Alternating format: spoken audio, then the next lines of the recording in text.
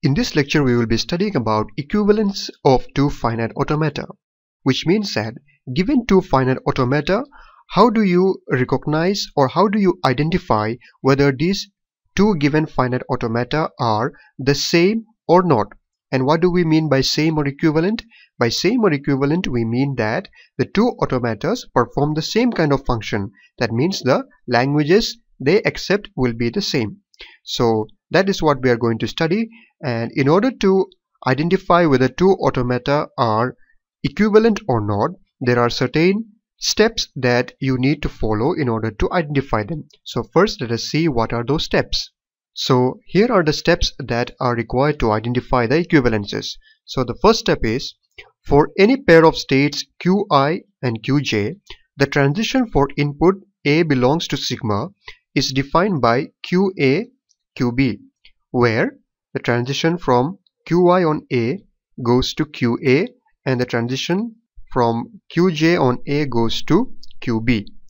The two automata are not equivalent if for a pair QA-QB one is intermediate state and the other is final state.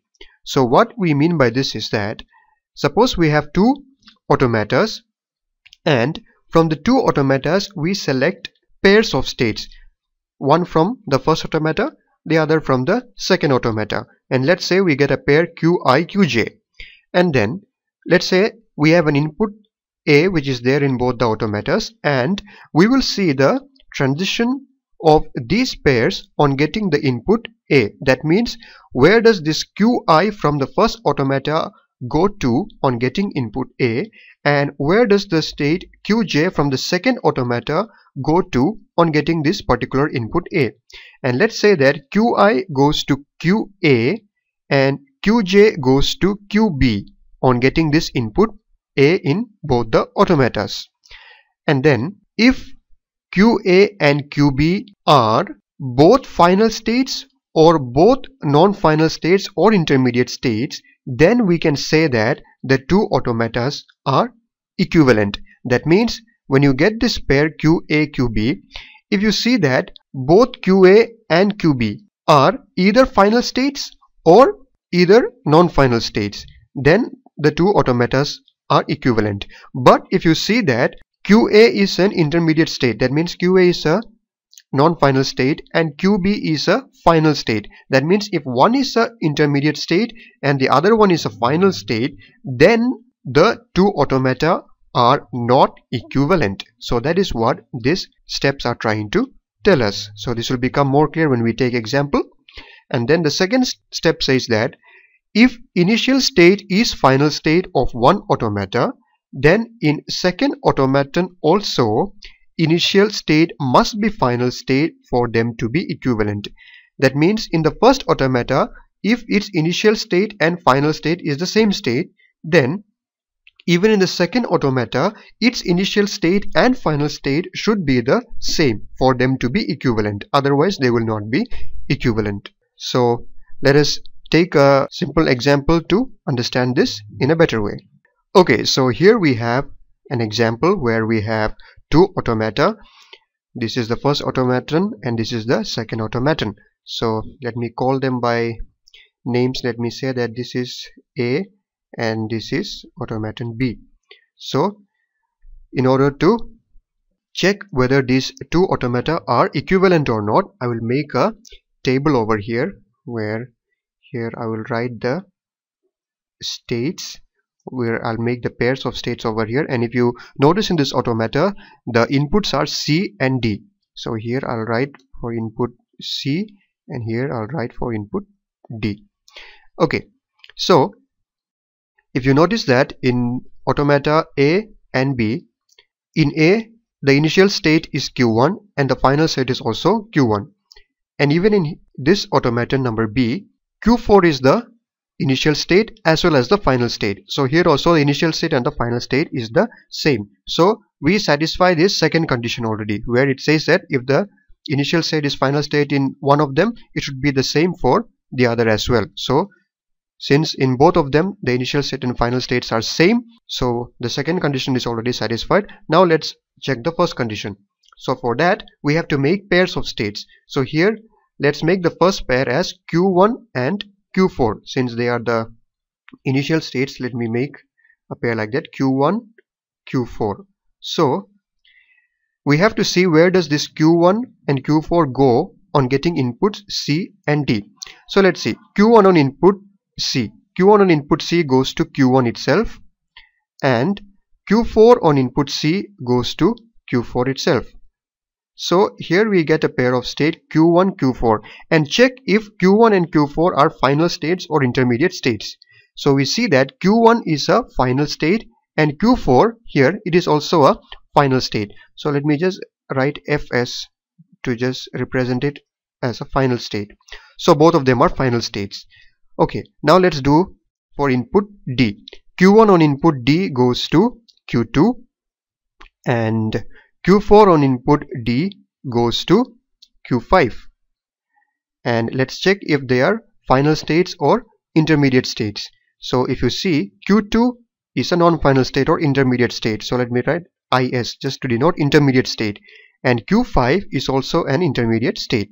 So we see that this pair both are final states and in this pair both are intermediate states. So this was the condition that we wanted. This is the condition that was mentioned in step 1 if both of them are final states or if both of them are intermediate states then we can say that they are equivalent. But if one is a final state and the other is an intermediate state then they cannot be called equivalent.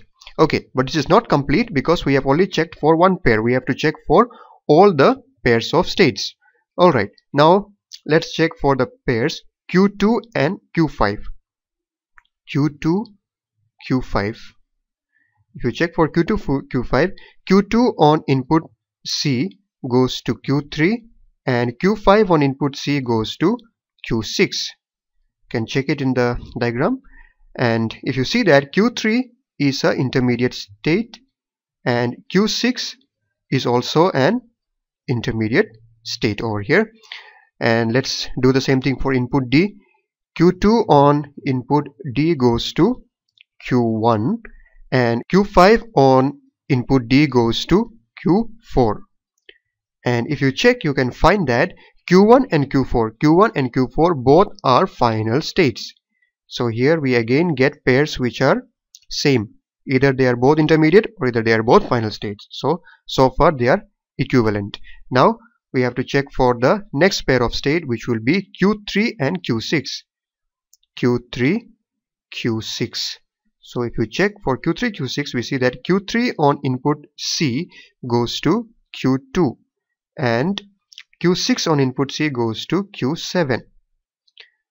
And let's see whether they are intermediate states or final states. Q2 is a intermediate state IS and Q7 is also an intermediate state. Alright, now let's do the same thing for input D. Q3 this q3 on input d goes to q3 itself and q6 on input d goes to q6 itself you can check it in the diagram and we see that both q3 and q6 are also intermediate states so so far also all the pairs that we got are either both intermediate states or both final states so till now it is equivalent now if you see that we have compared q1 and Q4, Q2 and Q5, Q3 and Q6. But Q7 is left and we see that Q2, Q7 is a new pair of state that has been formed in this table. So you have to check for the pair Q2, Q7. So let us check for this pair. If you check for this pair, we see that Q2 on input C goes to Q3 and Q7 on input C goes to Q6 and if you see q3 is a intermediate state and q6 also is an intermediate state.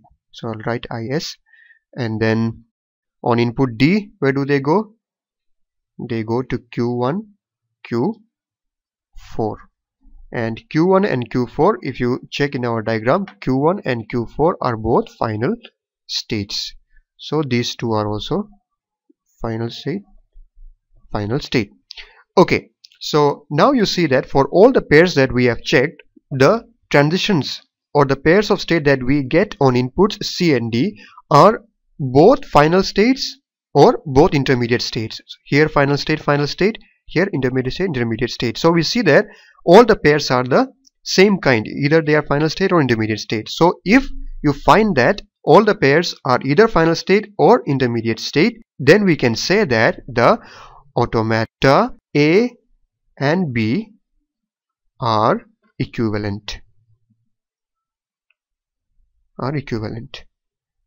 Now when you are checking if you find that if in any of the pairs one is a final state and another is a intermediate state then at that moment you can stop the checking and confirm that they are not equivalent. But from this example we found that both these automata are equivalent so this is the steps that we followed and I hope it is clear to you by taking this example. So see you in the next lecture with another example